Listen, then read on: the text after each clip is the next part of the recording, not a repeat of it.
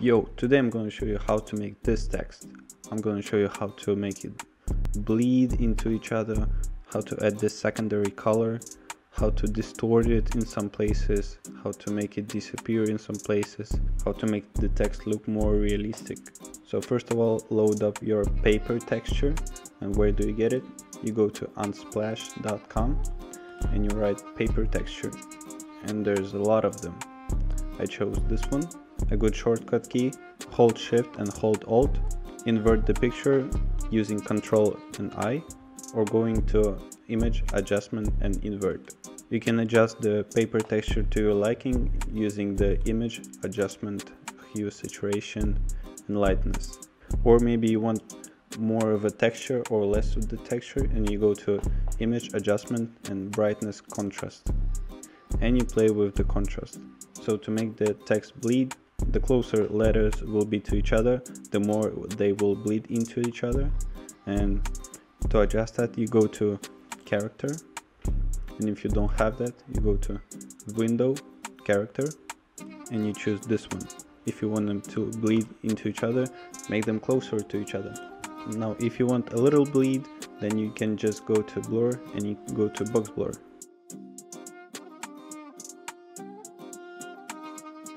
And we go to threshold.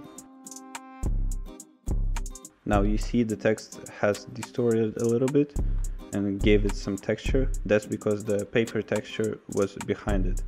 But if we didn't have it and we had only the solid color, then it would be more straight. So choose what you like.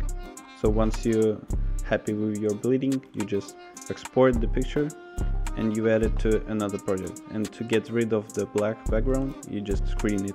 And if you want the text to be something different than white then you just have to you just have to add the color beneath it and and put the picture as multiply to get rid of the white color. Now what if you have a, a picture and you just want the text to be a little bit more realistic without doing all this stuff you can just add filter noise median.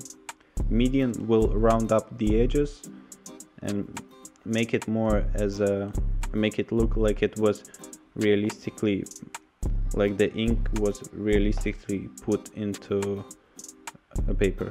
Also add filter, distort, ripple. Ripple will add a little bit of texture to your letters. If you want your text to to blend with the background you need to go to blending options and turn down these options.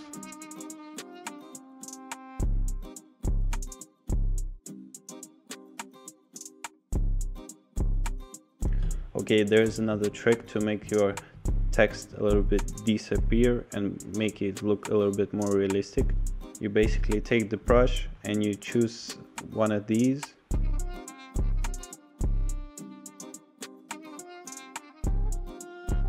you make it black and you just put dots somewhere or put lines.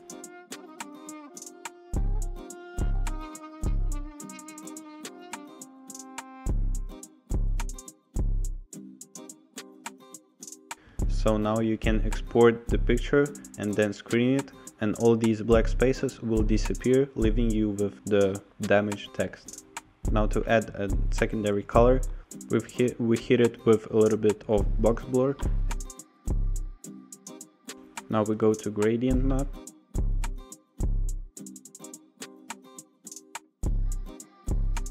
All you have to do is add a dark color near to the black and you play around with these settings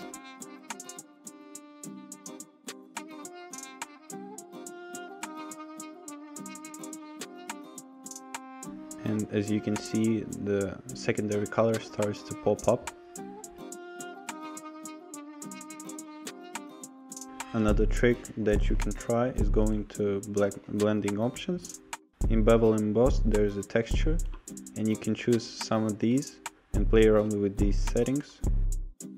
Now if you want to control the blur, you go to Filter, Blur Gallery and Field Blur and with this tool you can adjust how much blur and where the blur is so for example you can blur out the whole D so for example, I want the blur to be on E very strong, but on the D I want it very small, and I can do that. Then you go to threshold, and you can play around how much you want them to bleed into each other.